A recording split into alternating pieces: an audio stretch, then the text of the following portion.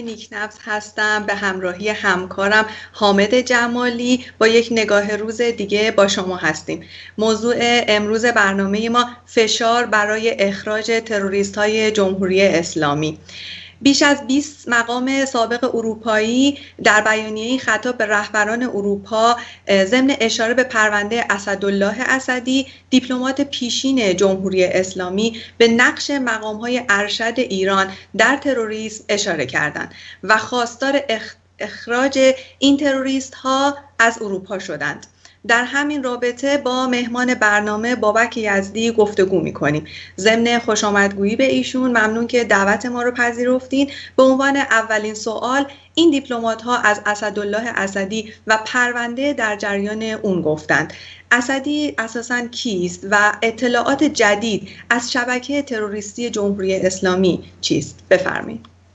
بله با درود به شما عطیه عزیز و بینندگان عزیزتون و تشکر از دعوتی کردید. ببینید من قبل از این بگم که جمهوری اسلامی در خارج کشور ده ها ترور داشته. یعنی از غلام کشاورز بختیار فرخزاد تا سران حزب دموکرات. و میگم حدود 360 تا ترور تو خارج کشور داشته. ترکیه اروپا بیشترینش بوده.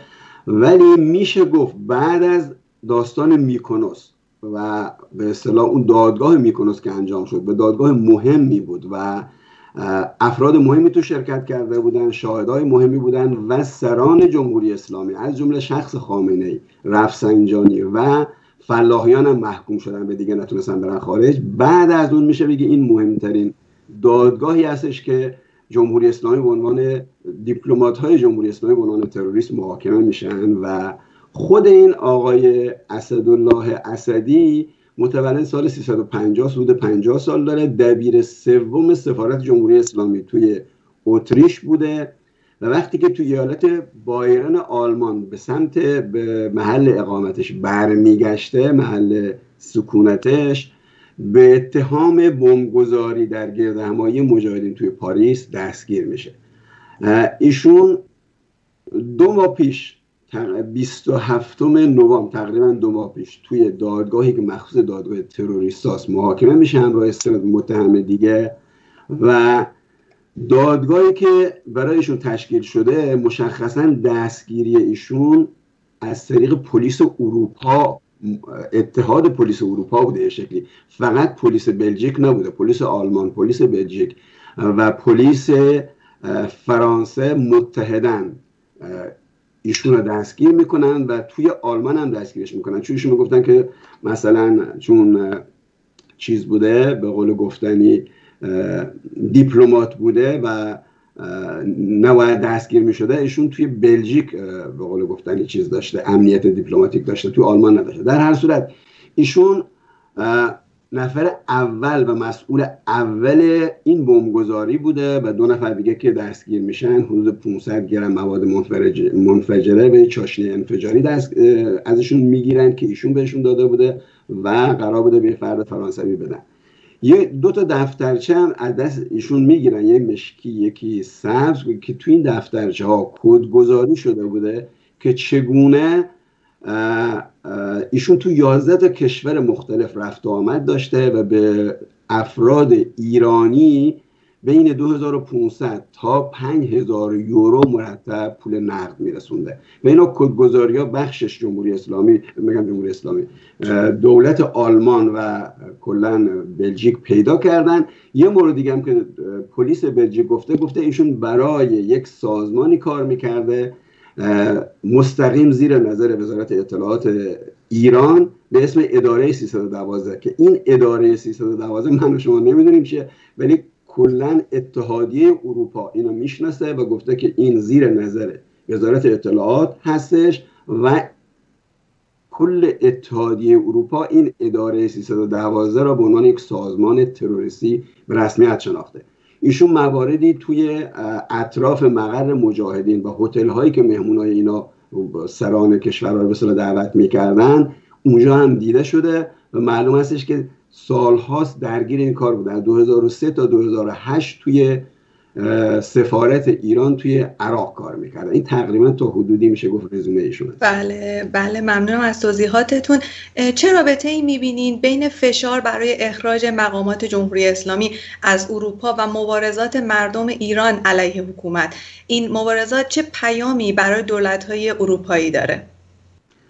بله ببینید مبارزات مردم ایران من فکر می‌کنم روز به روز وارد فاز جدیدتری میشه. سنگرهای جدیدی فتح میشه. فعالین اجتماعی سیاسی مدنی از داخل ایران می‌بینیم که مصاحبه که می‌کنن چقدر رادیکال و چقدر عمیق با خواسته های رادیکال و با تلویزیون های به قول رژیم برانداز.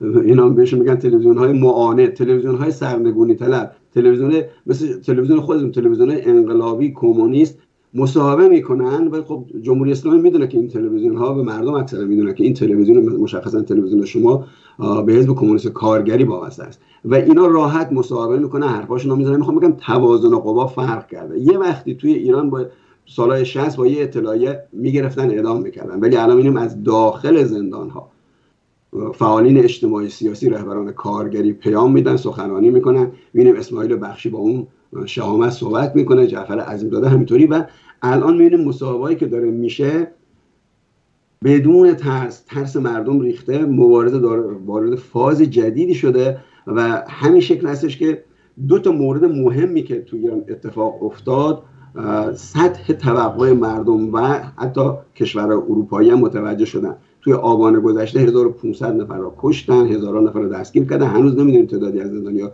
کجا چه کار می‌کنن. و زدن اون هواپیمای مسافربری اوکراینی هم باعث شد که حداقل ما نداریم در کشوری حتی هیتلر این کارو نکرده که مسافرین خودش هواپیمای خودش رو بزنه.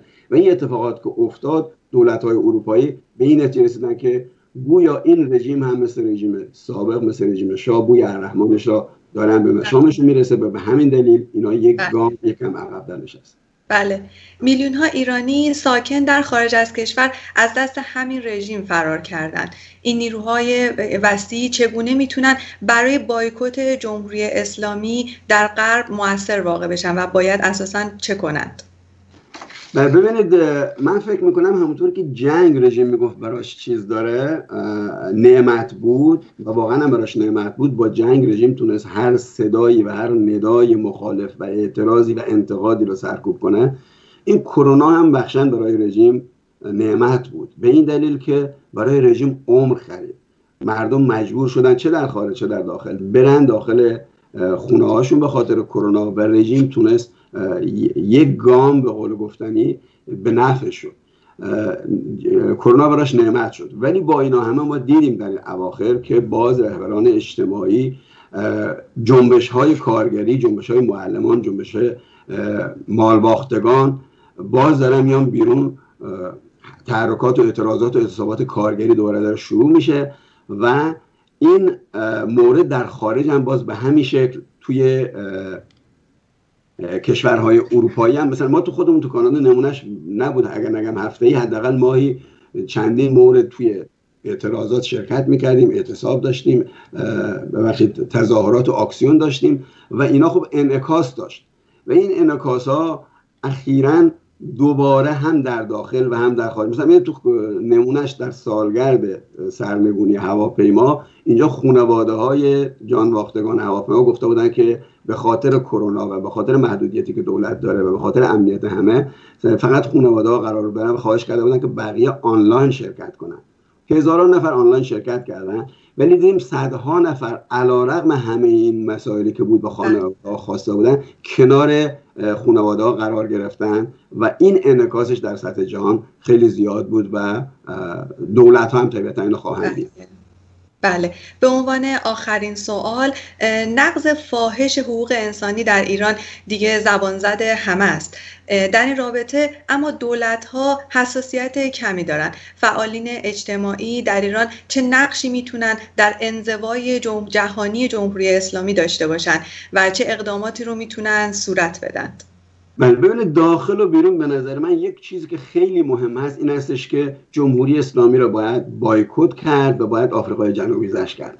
چجوری میشه این کار کرد؟ به نظر من در داخل اون جنبش هایی که گفتم اشاره کردم باید متحد و متشکل این مسئله بایکوت و مسئله با آفریقای جنوبی زرا مطرح بکنن و روش پافشاری کنن توی خارج کشورم به نظر من و حتی داخل ببینید جنبش دادخواهی جنبش دادخواهی الان خانواده ها خودش رو داره به درستی وصل می‌کنه به جنبش دادخواهی داخل کشور. جنبش دادخواهی مادران جنبش دادخواهی خاوران جنبش دادخواهی